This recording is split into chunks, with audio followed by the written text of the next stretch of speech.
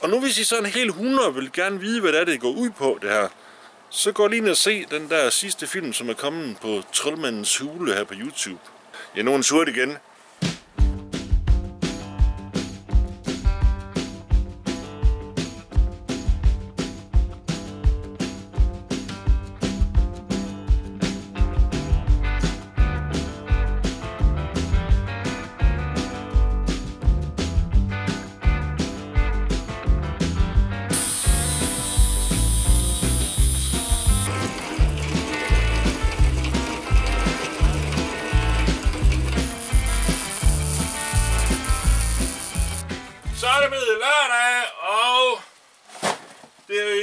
Jeg skal lave den der spændende opgave, ikke også? Ja, men først, så skal jeg lige på genbrugspladsen.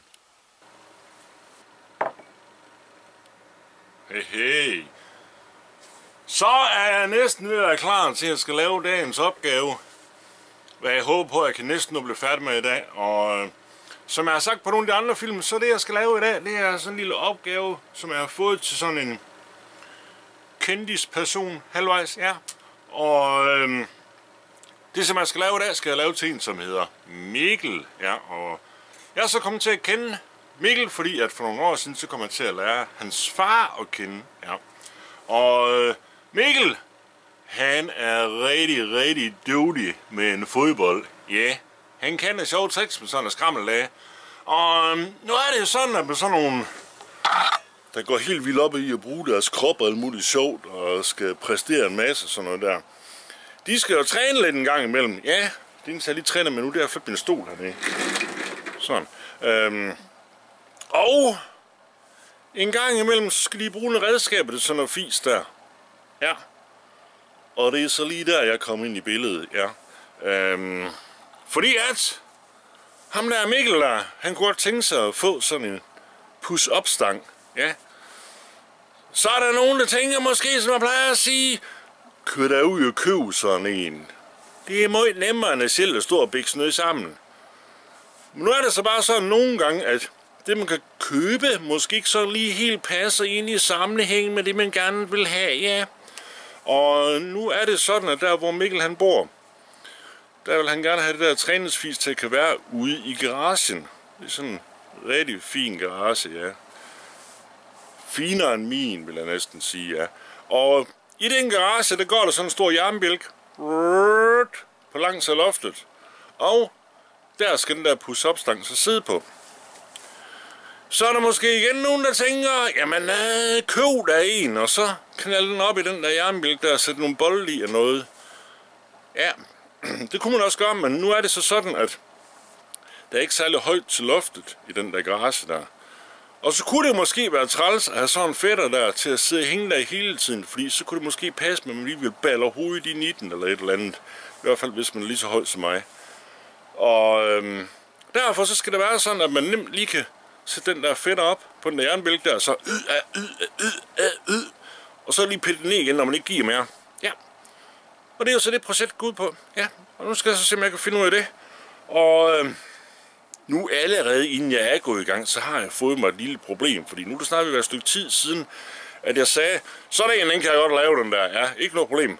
Og så øh, var jeg lige om forbi og tage nogle mål og et eller andet noget, og lave sådan en halv smart lille tegning.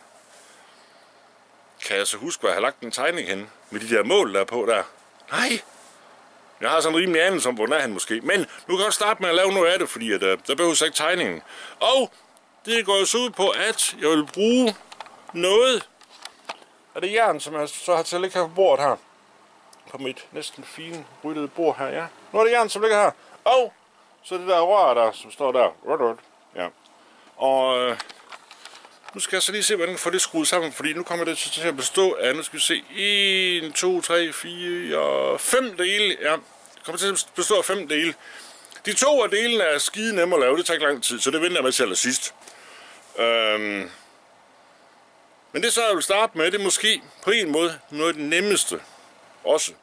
Men det starter jeg med, fordi så kommer det, som jeg synes, der er sværest i midten. Ja. Er det meningen, eller hvad? Nå, det er lige meget. Øh, men nu skal jeg lige have fundet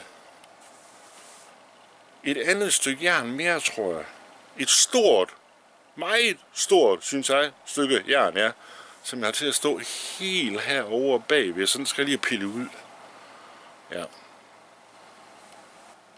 Så fik jeg fundet mig sådan en rigtig dejlig stykke flageren her, eller hvad man kalder den, fordi at den er 10 cm bred, ja, og så den 12 mm i tykkelsen, ja, og øh, det er så igen det der med, når man er flink ved nogle personer nogle gange, så får man sådan noget der kastet i nakken. Ja, det gør jeg så ikke, fordi så ville det nok have gjort lidt ondt, men øh, jeg fik at vide, hvis du kan bruge den der til noget, så må du tage den.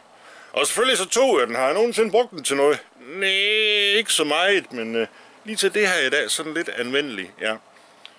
Og hvad jeg skal bruge den til, det vender jeg lige tilbage lige til lige om lidt. Men øh, nu har jeg sådan set fået mig sådan et held problem. Ikke mere end jeg kan løse det, men... Øh, fordi nu, nu var jeg så, så heldig at finde mine tegninger, ja. Som ligger derovre bagved. Og øh, nu huskede min dårlige hukommelse jo forkert igen, fordi at... Øh, jeg mente bestemt, at... Øh, jeg har sådan en fornemmelse om, at jeg skal nyse snart. Ah! Øh, nu husker min hukommelse at den der i bjælke, som er i den der garage der, skulle være 10 mm i tykkelsen. Ja. Men af en eller anden grund, så har jeg skrevet 1,5 på tegningen, og det er så fordi, at øh, som regel så regner jeg bare i centimeter. Det vil så sige 15 mm. Men det er ikke svært alligevel. Nu har jeg så legnet noget op her, og øh, nu forklarer jeg sådan lidt undervejs, hvordan jeg laver det her. Jeg forklarer det ikke sådan helt til at starte med, så jeg bliver nødt til at følge med for ligesom at få den dybere mening, det her sjovt.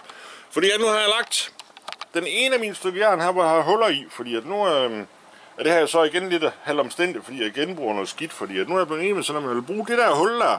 Ja. Og øh, nu skal jeg så have fundet noget, som jeg skal have lagt ned under her, som så skal være 15 mm. Jeg har jo så bare ikke lige noget, der er 15 mm. Men så har jeg det der rundnød, som ligger her, som er 10 mm. Og så har jeg sådan et stykke der, som er 5 mm. Og det vil så sige, at nu hvis jeg parterer lidt af det her, og så saver et stykke ud af den her, som bliver 4 cm på længdemålet her, og så tager den der og saver et stykke af den, som er 5 cm, så kan jeg tage de to, de to stykker og svare sammen.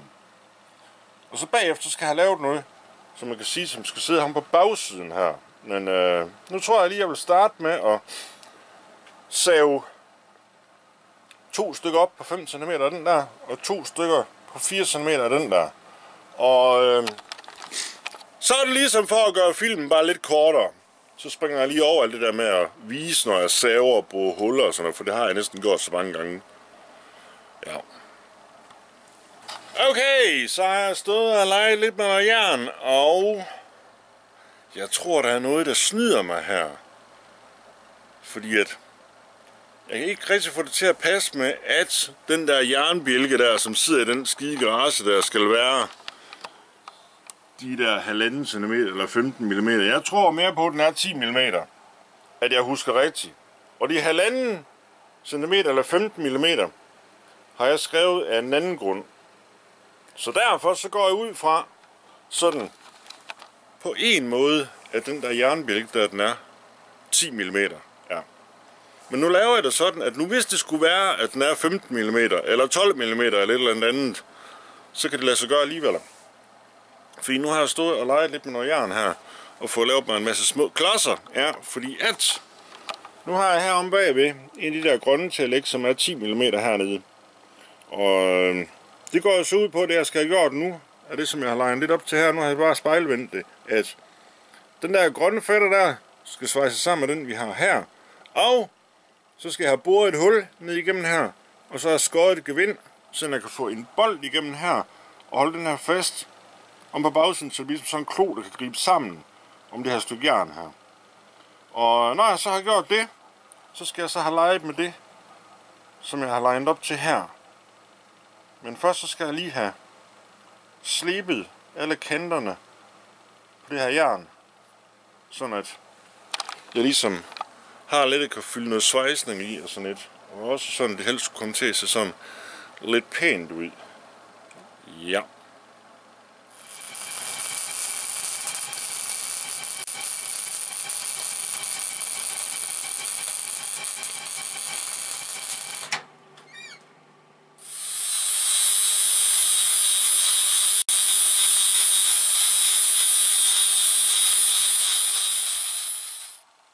Ja, så var der lige de to første specielt designede beslag til det her næste. Nu mangler jeg så lige at bore huller i dem, men øh, nu er måske smart lige at lade dem ligge og så blive lidt kold i det. Og det passer sådan set også meget godt med, at jeg lige skal ind og have en rugbrød, fordi nu er klokken ved at være lidt over et. Ja.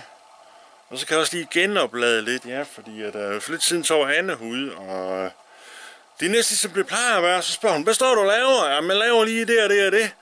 Og så kommer den obligatoriske, obligatoriske kommentar næsten altid. Og det er da dumt. Gud, det er da ej. Nej. Og en anden ting, når jeg lige vender tilbage. Nu står jeg lige og rodet med min vinkelsliber her. Og øh, nu så jeg lige den sidste film, som øh, Trollmandens Hule har lagt op her på YouTube. Og der stod han og rodet med sådan en vinkelsliber der. Og øh, Måske kan det være, at jeg har en idé om, hvorfor den der vinkelsliber, den øh, er kommet til at være sådan, som den er. Men øh, det fortæller jeg lige senere, ja. Nu står jeg lige og ved at lave sådan en halv om halv måltagning til det næste, altså når jeg kan få det her beslagfis her kortet op sådan, det vil være klar til, at det kan blive samlet noget af det. Og nu har jeg så fået lagt mig en af de her stumme af sabotere. Nu har jeg så lige lagt mig et 3 mm bord herinde bagved. Ligesom for at få lidt afstand her, fordi at du kan godt lide, når man laver sådan noget her, at det ikke passer sådan helt 100 stramt, som der lige er noget at give af. Og øhm, det som det så er gået ud på, det er, at øh, nu skal jeg bare lige have tegnet en streg lige her. Så, så burde det forhåbentlig passe, når jeg ser den over her det her det tager længde, så skal jeg lige have skærpe kanterne, og når jeg skal svejse sammen. Men der er så noget af det her, som jeg lige venter med at svejse sammen til senere, men nu er jeg lige ved at være der. Og samtidig med, så har jeg lige fået, hvad jeg selv synes er en god idé, fordi at, øhm, nu kommer jeg lige i tanke om, at jeg har nødt til at ligge i en skuffe eller en kasse herovre bagved, som lige gør, at jeg sådan på en måde kan spare en arbejdsgang, og så måske få det her til at se sådan lidt smartere ud, end det ville gøre på den anden måde, som jeg havde udtænkt det. Ja. Men øh, nu skal de andre der kortet op, eller de, de der to kortet op, og så har jeg så samtidig med mærket op på den, den anden klods, som lige lagde herovre bag, vi lige før, hvor vi har det der hul der i. Fordi at, øh, nu skal jeg nemlig have boet hul den der 待って待って待っ。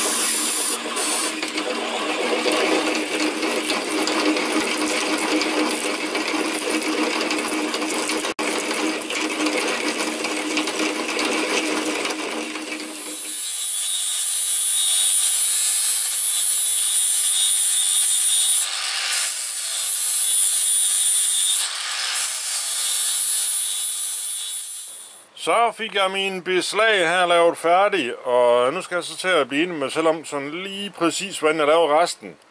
Og mens jeg så lige bliver enig med selvom selv om det, så kan jeg lige så fortælle det der med det der vinkelsliber halløj, som jeg snakkede om lige før med troldmandens hule der. Og øh, det, som der måske kan være gået galt med vinkelsliberen i troldmandens hule, det er, at der er nogen, der har en god idé til, når den skal løsne sådan nogle klinger, der eller flopskiv, eller hvad det er, har man til at sidde sådan en vinkelslipper der, at de gør et lille trick, ja, som på en måde egentlig er smart nok, men det kan ødelægge vinkelsliberen, ja, fordi at på mange af vinkelslibere, der sidder der sådan en fin knap her bagpå, som man går ind i sådan nogle hakker herinde i, og som låser den, når man skal løsne sin flapskive eller skæreskive, eller hvad man har i her. Og øh, så er der nogen, der bruger sådan et sjovt trick med, at når man køber vinkelsliberen, så lige inden den går i stå, så den tager nogle af de sidste omdrejninger, så trykker man lige på den der knap, der lige trykker den ind. Ja, så siger det sådan nogle trællestyd, så siger det, gung, så står den stille. Og det der slag, der kommer der, kan faktisk være nok til, at det her, det går løs, så man er fri for at stå og bøvle med, og løsne den her med nøgler og muligt andet.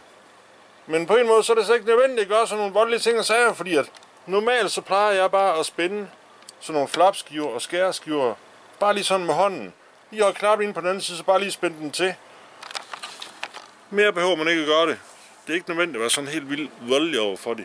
Og nu hvis I sådan helt 100 vil gerne vide, hvad det er, det går ud på, det her, så gå lige ind og se den der sidste film, som er kommet på Trollmandens Hule her på YouTube.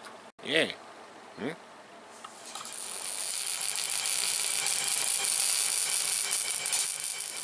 Yep, så har jeg lige leget lidt med mit rør her og fået det til at se lidt pænere ud. Og øh, nu burde jeg sådan set at skynde mig videre, men øh, jeg tror, jeg bliver nødt til at holde for i dag, fordi at, øh, nu kommer jeg hjem fra arbejde af klokken halv syv her fra morgenen af. Og øh, jeg nåede kun at sove tre timer her fra morgenen af, inden jeg skulle være klar til at skulle, skulle på genbrugspladsen og alt muligt andet.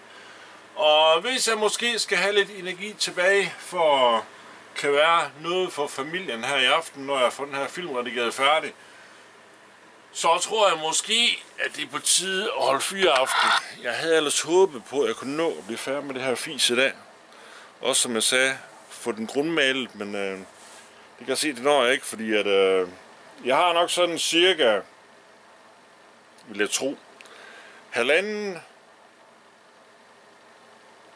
halvanden til to timers arbejde med sådan cirka. Ja, nu er surt igen. Så meget tid er tilbage, inden jeg måske er færdig med at svejse det hele sammen og få det slebet og alt muligt andet, fordi at igen så vil jeg gerne prøve at få det her til at se lidt fint ud, så der er sådan en lille, nogle, et par små ting, som jeg godt kunne tænke mig at gøre. Jeg kunne godt lave sådan noget hurtigt noget, men det kommer bare til at se træls ud, tror jeg.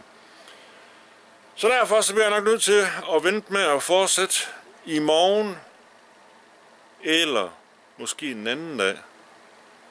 Men nu hvis I synes, at den her film den var spændende at se, så fyr nogle tommelfingre af sted. Ja. Og det var det for i dag.